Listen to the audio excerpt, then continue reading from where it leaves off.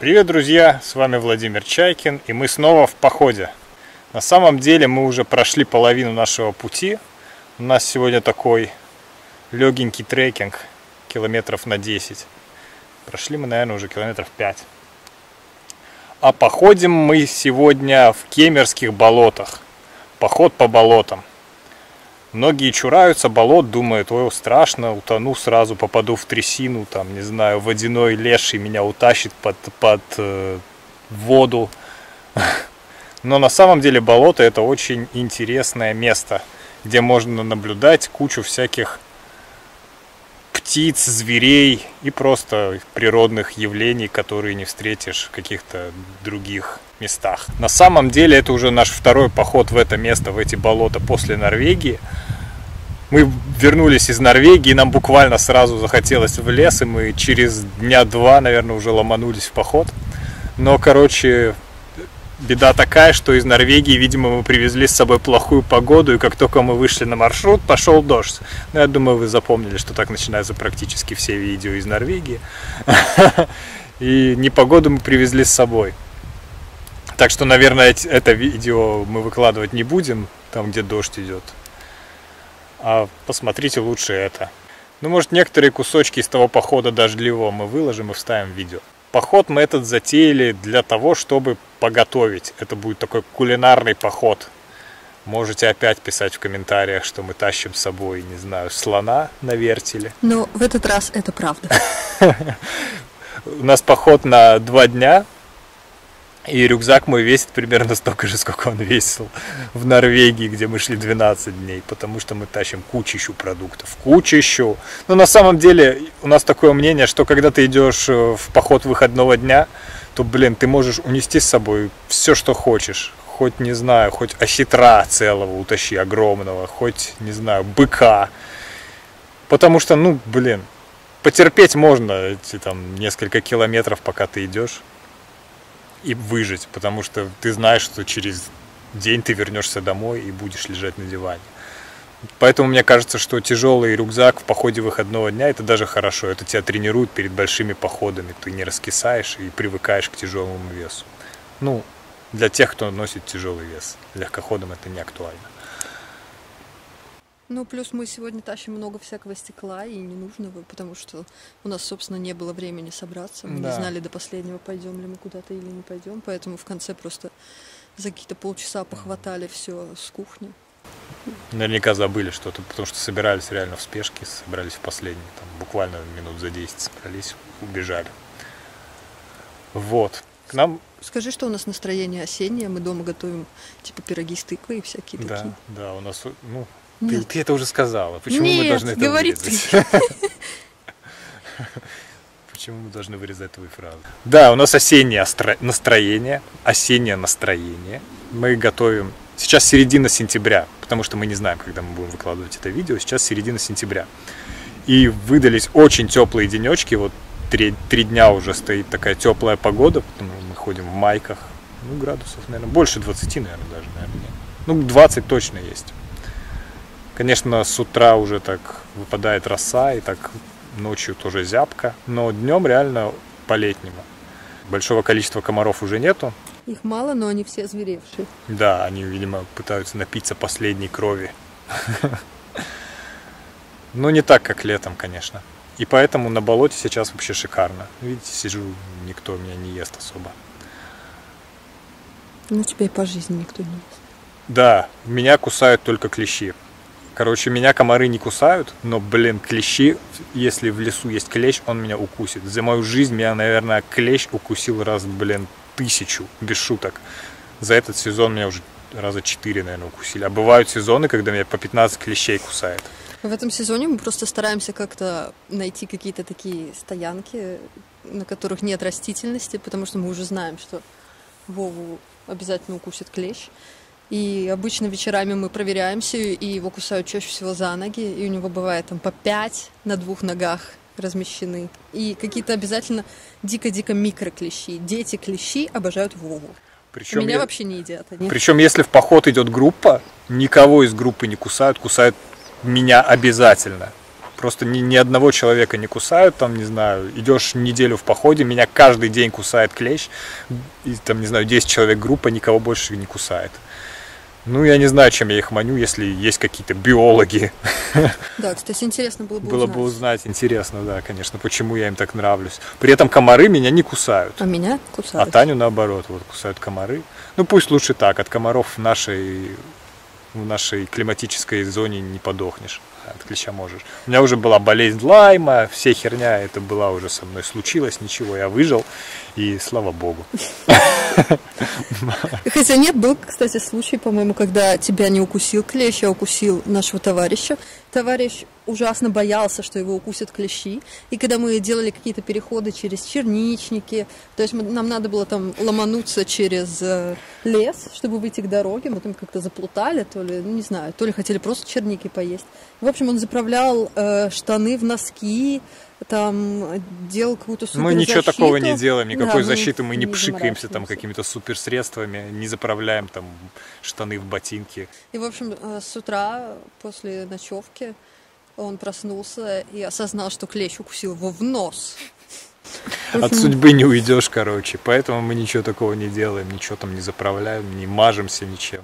Хотя есть одна штука, которая от насекомых помогает очень-очень хорошо. Ну, мы про нее снимем. Я думаю, про клещей мы еще тоже снимем какое-то отдельное видео, чтобы не трепаться зря.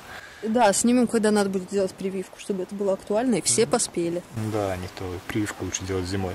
И вот мы вырвали этот отличный осенний денек теплый, чтобы не про- прозевать осень. А не то бывает так, что, блин, спохватываешься, когда уже осень закончилась, начинается уже какая-то зима, не знаю, дождь со снегом, и осень ты проворонил обычно, как-то у нас так случается.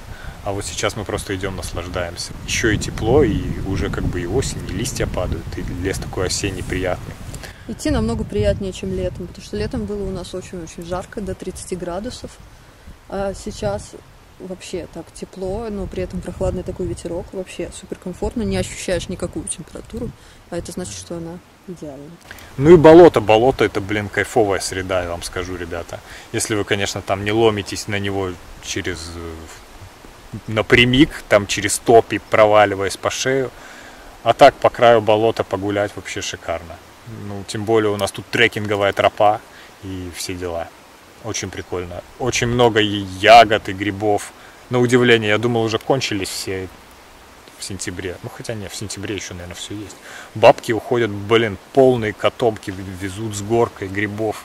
Но мы не собираем, мы, блин, в Норвегии наелись так грибов, что, наверное, до следующего года баста с ними, не будем жрать. Да, и наши грибы по сравнению с норвежскими, как какие-то трухлявые старички выглядят, и нам не В Норвегии не манят. очень твердые грибы. Блин, ни одного червя, ни одного слизняка там нет. Наверное, холодно для слизня- слизняков, поэтому, наверное, там их не водится. А здесь, да, ну, дождями подмывает грибы. Ну, уже и осень все-таки конец, наверное, сезона грибного. Ягод дофига. Вот, ну, ой. Вот клюквка растет болотная. Про клюкву мы, наверное, еще не снимали ничего. Ну, я не знаю, будет какое-то видео, наверное, про ягоды отдельное. Что еще будет расти на болоте? Клюква и растет. Не А, угостил. простите. Угощаю. Вкусная, слушайте, клюква. Созрела. Сладкая, да, созрела. Можно даже собрать. Не, лень. Пусть бабки собирают ягоды, нам лень. Что еще вам рассказать про болото? Блин, да, не бойтесь болота, кайфовое место, реально. У нас есть еще в Латвии такое, блин, как вам сказать-то? Такая тропа по болотам, короче, ее создали, как они называются-то, эти люди? Ее создали, Шведский король. нет, не шведский король. Ее создали чуваки, короче, которые за птицами наблюдают. Как они называются? Орнитологи. Орнитологи. Во. И там какие-то супер гнездовья птиц. И, в общем, ну, на нее, наверное, мы тоже когда-нибудь сходим, покажем вам. Она не особо походная, но на пикничок какой-то можно выехать. Да, многие как-то ее любят, ходят туда Ага. каждый В общем, ну, интересно туда сходить. Действительно, очень прикольно посмотреть на болото, если вы тем более не были никогда. А Кемерское болото, вот на котором мы сейчас находимся, ну, не знаю, там, наверное, сзади пейзаж не очень болотный. Но на самом деле здесь оно идет до горизонта и одно из самых больших в Европе. И очень крутое. И его даже заценил шведский король и подарил, как называется, мосточки по болоту проложил. Ну, не знаю, как он подарил это. Наверное, выделил какое-то дерево, прислал в Латвию рабочих, чтобы они построили эти мосточки, чтобы люди могли наслаждаться. Может, просто монеты выдал, постройте. Да, может, не знаю. Ну, короче, эти мосточки намутил для Латвии шведский король. Вот в чем, в чем факт. Мы ждем завтра людей. Сейчас мы идем в поход вдвоем.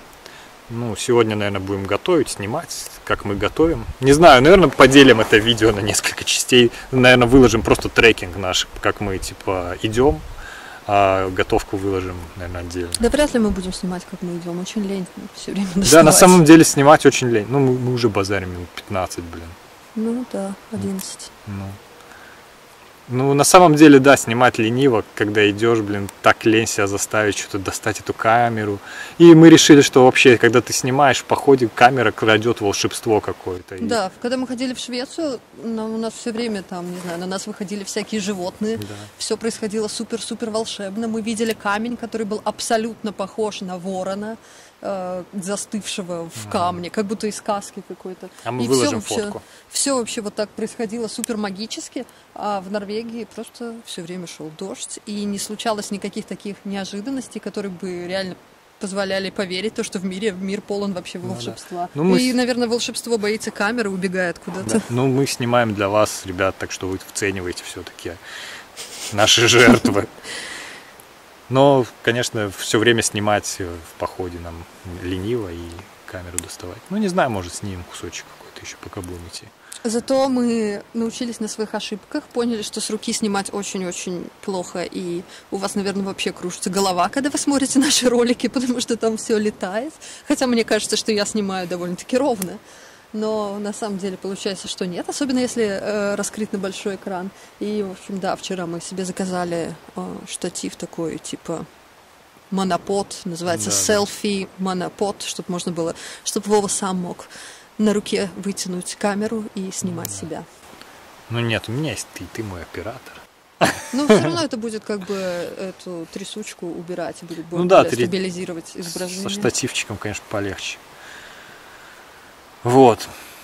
Да, идем, наслаждаемся болотами уже, не знаю, сколько мы шли, минут 40, наверное. Идем дико медленно, все время хотим болтать. И Ну да, вот вам рассказываем полчаса уже какую-то ерунду ни о чем. Да, ходите на болото, ребят, это интересно, это такое, знаете, эпическое место. У меня все эпическое, вы, наверное, заметили. Что... Потому что ты эпический скандинав, как тебе сказали, не забывай. Да, спасибо, спасибо. В общем, да, ну, со всякой мифологией связано, не знаю. Я лично люблю мифологию, мне интересно. И мне нравится вот какие-то места населять в, какие-то, в своей голове какими-то мифическими существами. С болотами уж точно связана куча всяких преданий, историй, там, не знаю, болотные огни, которые там горят по ночам на болотах и манят путников в трясину, они там проваливаются. На самом деле болотные огни это реально существующая, реально существующая вещь. Это газы выходят из болота и фосфорицируют, короче, во тьме. И создают такие маленькие огоньки. На кладбищах они тоже есть. От гниения, короче, в почве они выходят, газы, и немного светятся в ночи. Вот. И, видимо, в древние времена люди шли на эти огни и проваливались какие-то трясины, болота. Вот. Ну так довольно стрёмно, конечно. Да. Ну не знаю, что Вообще в наше время, по-моему, тоже гибнут на болотах люди. Не знаю, что они вообще прутся прям в топь какую-то. Ну, Это какие-то эти собиратели ягод, блин, клюквы собирают и тонут. Я когда была ребенком, а, всегда были какие-то страшные истории про болото. Там, например, у меня у подружки во дворе а, пропал дядя, и когда они пошли к какой-то гадалке, гадалка сказала, что она, что этот дядя наверняка типа в болоте, типа мертвый. Жесть. А, И так было практически со всеми, кто когда-то ходил к каким-то гадалкам и спрашивал, или к бабкам, там, не знаю, есть там разница или нет, а, спрашивал, куда там пропал человек, они всегда отвечают на болоте. Не ходите к бабкам, к гадалкам, все это херня, короче. Ходите на Ходите болото, на болото. топните. Ничего с вами не будет, не потонете. Конечно, надо уметь ходить по болоту, типа не так просто. Я пошел по болоту, провалился и утонул. Надо умеючи, надо со слегой, если вы идете по болоту. Мы идем не по болоту, мы идем по краю болота. С обоих сторон, с этой стороны у нас болото, и с этой стороны у нас болото до горизонта. А здесь проложена такая тропа, короче, спецовая. Потом покажем, как она размечена. Типа ее недавно разметили, мы сегодня, ну, вот второй раз уже идем по размеченной тропе. До этого она была не помеченная.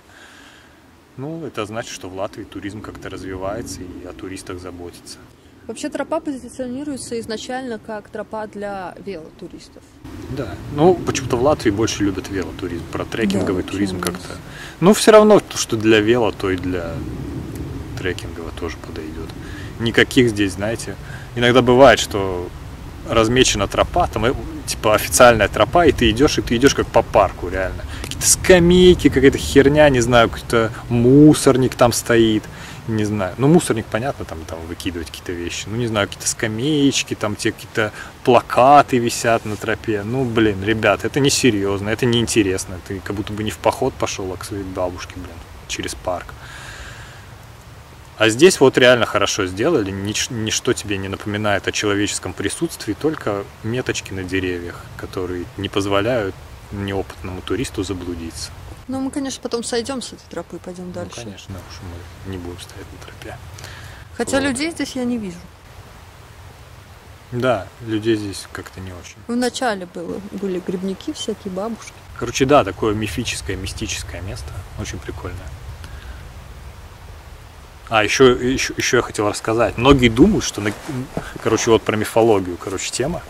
Раз уж мы затронули. Многие думают, что кикиморы живут на болотах, что э, типа кикимора это болотный дух. На самом деле это не так. Кикимора живет в домах.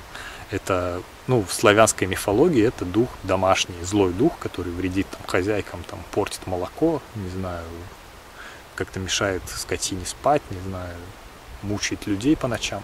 Это домашний дух. Он живет в подполье, под полом дома.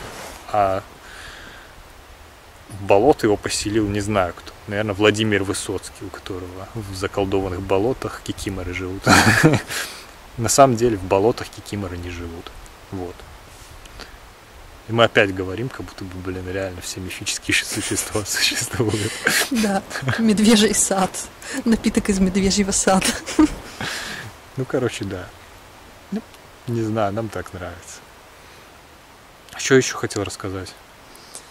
Я вот ботинки плохие надела сегодня. Да. Обула э, какие-то простые кроссовки, Да. даже не то чтобы спортивные.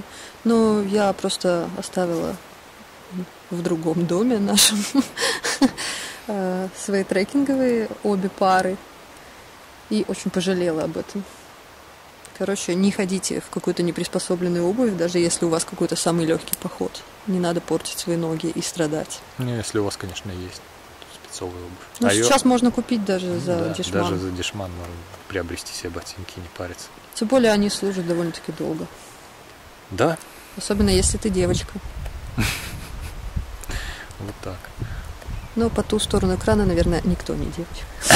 Обязательно кто-нибудь есть. Катя, Катя, привет! Короче, да. Кстати, Катя к нам может завтра присоединиться. Не знаю. Завтра к нам люди приходят. Сегодня мы идем вдвоем, готовим, снимаем, а завтра к нам приходят люди. И мы, записываем трек. Да, мы записываем для них типа маршрута. маршрутный трек, короче, на GPS-ку записывается. Посмотрим, вдруг запишется, и тогда мы им пошлем, и они завтра сами прибегут к нам. Мы верим в их силы, надеюсь, что они не потонут где-то в болоте по дороге. Вот. И завтра будем уже с людьми тогда тусоваться. А идем мы, короче, забыл, куда мы идем. Мы не просто идем по болоту, там, типа, о, мы, короче, топаем по болоту просто так. Мы идем на озеро, на лесное озеро. Очень прикольное такое, торфяное. Идем мы, на самом деле, час 05. Хотя, ну, в принципе, именно с начала леса. До этого мы шли еще с поезда. До этого мы шли с автобуса на поезд, Да, а перед короче, этим да. из дома на автобус. Ну да, Но мы все время останавливаемся, тупим, сидим, болтаем. Да. Да, короче, наслаждаемся походом. Поход выходного дня это, блин, вам не спортивный поход, где нужно угробиться, там, не знаю, пройти 100 тысяч километров, блин, и сдохнуть. Да, наша цель куда благороднее. Наша цель по- Покушать. поесть, приготовить, потом снять для вас, чтобы вы слюни попускали дома. Сказали, блин, нафига он все это прет с собой и готовит. Да, блин, потому что в лесу круто готовить, потому что вкусно выходит. И, блин, можно жрать реально не, туш... не только тушенку, блин. Да, например, в этот гречкой. раз у нас нет тушенка. У нас сегодня не тушенка, у нас полноценный шмат мяса. Мы дома так не едим. Мы дома часто едим тушенку. Да. Потому что я люблю консервированные продукты. Вот биологи. Нам нужны вообще зрители-биологи. Да- Биологи, да не скажите, биологи, что со мной? Врачи пусть. Ладно, врач. врачи. Вот. Скажите, что со мной? Почему я все время хочу консервированные продукты кушать? Ты скажешь, что ты беременна. И нет, это не так. Короче, да. Ну не знаю, тебе, может, какое-то железо, цинка не хватает. Цинка, наверное. Они же оцинкованные внутри. Ну, это так, предположение. Вдруг кто-то действительно знает. Снимем, может, эти мосточки еще сейчас. Дойдем до них.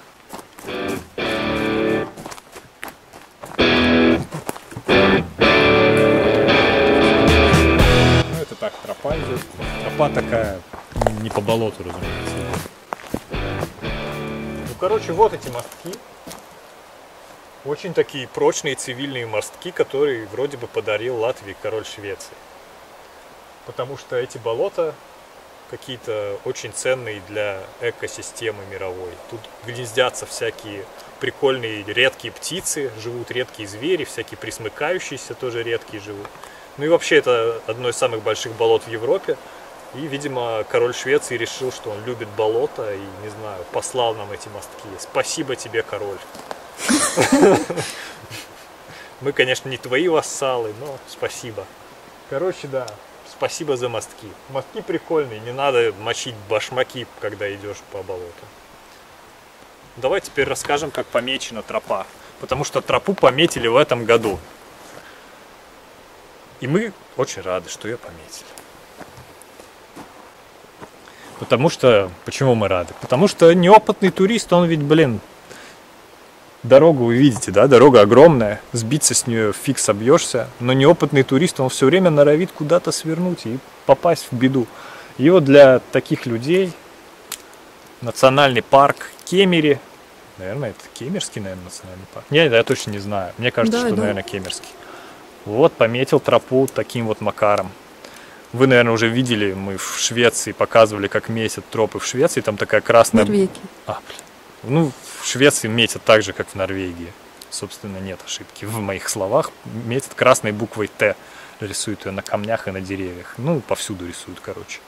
А у нас вот по деревьям рисуют такие вот метки ставят. Кстати, непонятно, откуда вообще этот знак, что Вот он означает, потому да. что могли бы тоже использовать эту букву Т, потому что она какая-то универсальная. Она По- как и троп- По-русски, допустим, слово тропа, тропа, понимаешь? трейл или По-английски, да, да, по-английски, по-латышски тоже така. Така тоже по- по-латышски, да.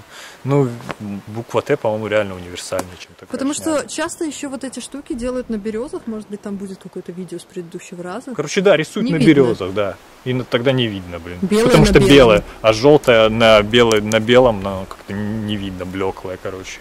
И можно не заметить. Это вам вот ребята из Кемерского национального парка на заметку, что можно не заметить на березе. Рисуйте только на соснах.